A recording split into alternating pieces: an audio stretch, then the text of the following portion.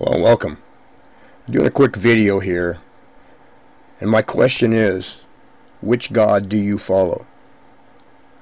You see, Lucifer the Destroyer is the God of evil and wickedness, chaos and confusion. Now, on the other hand, we have Jesus, the Christ of God, who is the God of love and peace and goodness and kindness and gentleness and righteousness. So with all the evil and the wickedness and the killing and the chaos and confusion going on right now, like on the Middle East or just all over the planet in general, which God do you think people are serving? Claiming to have the righteous God. Even in the Middle East right now, you see people, my God's the right God. Let me ask you this if the God of killing and wickedness and evil is your God, is that the God you want to be serving?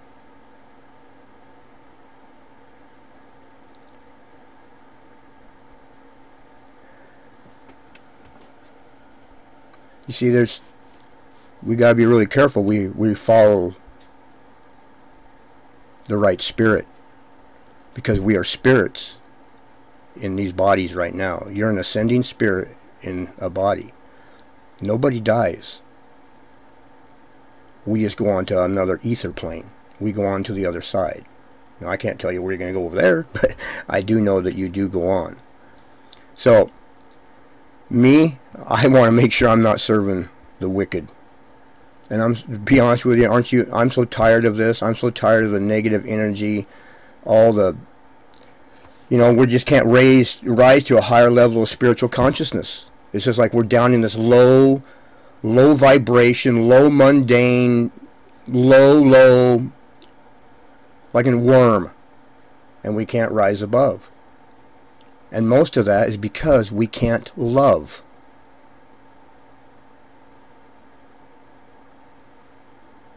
We can't love. We can't learn to get along. See, that's why you're here. That's why we're all here in these bodies. We're to learn to get along. We're to learn to love God. We're to learn not to do what you're seeing.